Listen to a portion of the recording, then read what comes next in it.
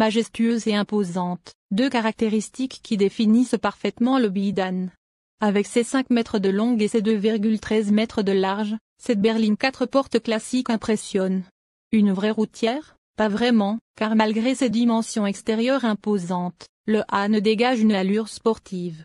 Cela s'explique en partie par sa hauteur relativement basse de seulement 1,5 m et son avant audacieux, rappelant la Kia EV6. Dans l'ensemble, cette voiture de luxe chinoise rend un hommage subtil à des designs familiers. Des touches de Porsche Taycan à l'arrière et une touche de Mustang sur le montant C renforcent le caractère distinctif du Han, tout en conservant son individualité et en convainquant par son design soigné. Les phares, que Bid appelle striamer et le bandeau lumineux qui orne l'arrière sont particulièrement remarquables. De nuit, le Han paraît plus large et plus sportif que de jour. À l'intérieur, après avoir utilisé les poignées de porte rétractables futuristes, L'attention est immédiatement attirée par le grand écran central et le tunnel de transmission, remarquablement grand pour une voiture électrique. Revenons à l'esprit affirmé.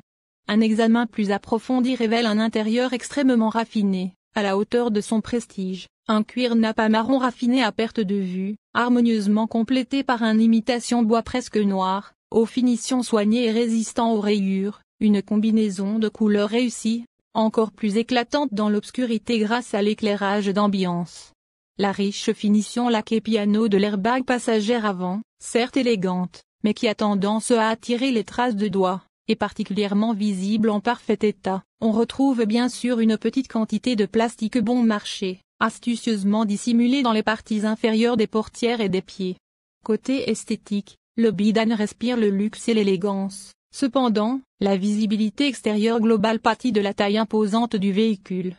On peut affirmer sans se tromper que cette voiture n'est probablement pas le choix idéal pour une auto-école. La berline de luxe de Bi n'est pas seulement visuellement impressionnante, le constructeur chinois de voitures électriques excelle également dans l'art de la fabrication, à égalité avec les constructeurs allemands haut de gamme comme Audi, BMW et Mercedes.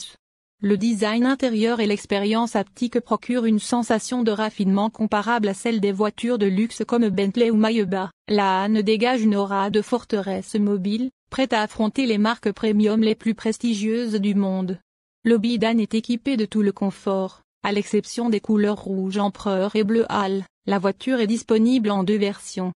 Notre modèle est la version exécutive, proposée à 70 800 euros, tandis que la version verte émeraude, proposé à 74 500 euros, ne diffère de notre voiture d'essai que sur 3.1 sellerie en velours et cuir vert et définition en carbone verte. De plus, dans la version la plus chère, les deux chargeurs de smartphone à induction délivrent 50 watts au lieu de 15 watts. Les sièges avant-sport sont entièrement électriques et offrent un soutien lombaire. Même les dossiers des sièges arrière sont réglables électriquement. Le chauffage et la climatisation sont disponibles pour les quatre sièges. Les ceintures de sécurité avant se resserrent électriquement après avoir bouclé la ceinture, ce qui renforce le sentiment de sécurité. Pour les personnes mesurant plus de 1,75 cm environ, les sièges sont très confortables et offrent un bon maintien latéral. En revanche, les personnes de petite taille peuvent trouver les renforts latéraux trop près des bras et des épaules. Le toit ouvrant panoramique offre également tous les avantages. Sa grande ouverture permet de laisser flotter vos cheveux au vent, tandis que le pare-soleil vous protège du soleil lors des journées particulièrement chaudes. Le Han est également équipé d'une pompe à chaleur pour réduire la consommation d'énergie par temps frais. Bi ne lésine pas sur l'infodivertissement. Le conducteur dispose d'un écran TFT de 12,3 pouces et d'un affichage tête haute. Un écran tactile central de 15,6 pouces orientable permet de l'utiliser en mode portrait ou paysage. Deux écrans sont également présents à l'arrière. Les passagères arrière peuvent régler la position du siège, le toit ouvrant et l'éclairage d'ambiance, ainsi que la température, la ventilation et l'ensemble du système d'infodivertissement. Grâce aux deux supports isofixes à l'arrière, même les plus jeunes passagères peuvent participer, ou saliver devant l'écran. Deux bornes de recharge sans fil pour smartphone de 15 watts sont idéalement situées à l'avant, l'une sous la coudoir centrale et l'autre devant. On trouve également quatre ports USB à l'avant et deux autres à l'arrière. La seule prise USB-C est réservée aux passagers avant. Le point d'accès, alimenté par le module 4G de série, est accessible à tous les passagers.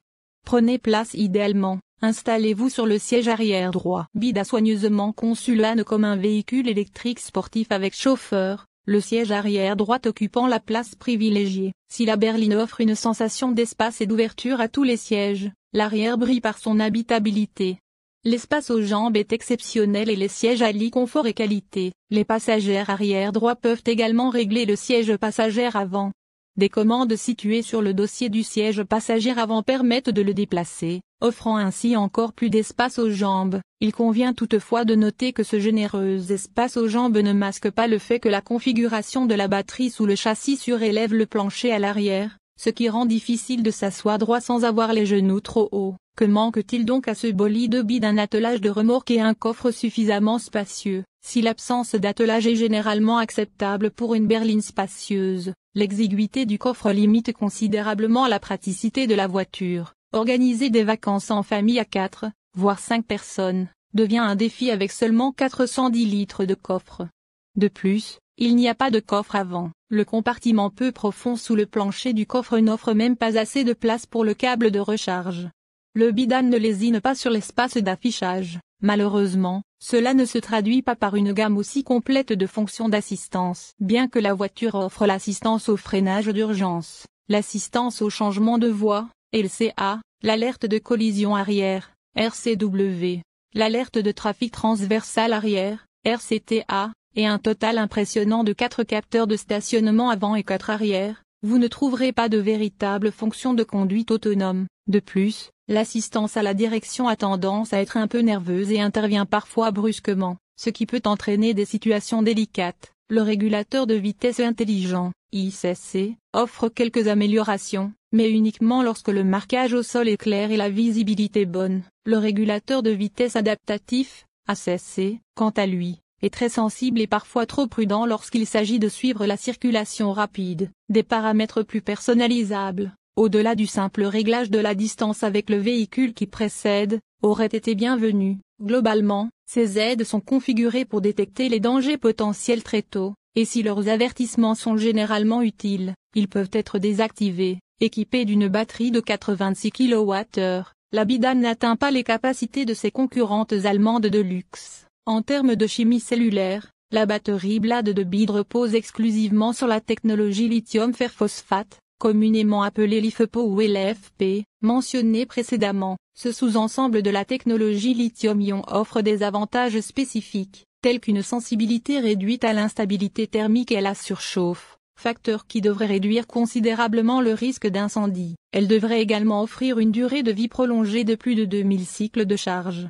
BID va encore plus loin et annonce une batterie Blade offrant jusqu'à 5000 cycles de charge, avec une garantie de 8 ans ou une autonomie de 160 000 km. Impressionnant. L'infrastructure de recharge est un élément essentiel pour les voitures électriques, en particulier pour les berlines de tourisme.